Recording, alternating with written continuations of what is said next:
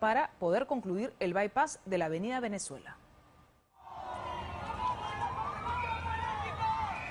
Dejaron su casa de estudios, cubrieron sus rostros y quemaron llantas en la puerta 2 de la Universidad Nacional Mayor de San Marcos.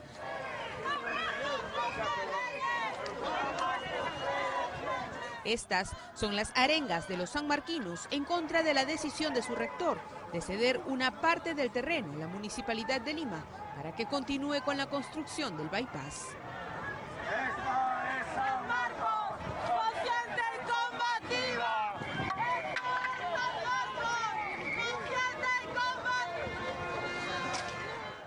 Ante la turba, los policías empezaron a dispersarlos, por lo que los más de 200 universitarios ingresaron a empujones a la decana de América para evitar ser alcanzados por los agentes del orden.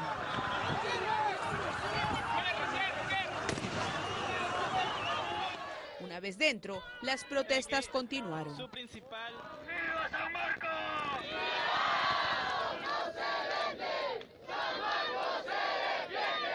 La mayoría de alumnos pertenecía a la Facultad de Sociales y aunque intentaron mantener bloqueadas las vías universitaria y Venezuela de manera permanente, no lo consiguieron.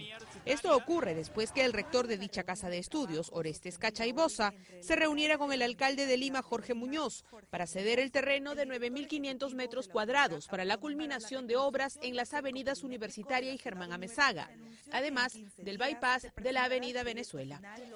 Estas imágenes corresponden a las manifestaciones de estudiantes y algunos políticos cuando se produjo la marcha en contra de Luis Castañeda Locio, en cuya gestión se derribaron los muros de San Marcos para la construcción del anillo vial. Al cierre de este informe, la universidad cerró sus puertas y continúan policías en tanquetas apostados en la puerta 3 de San Marcos.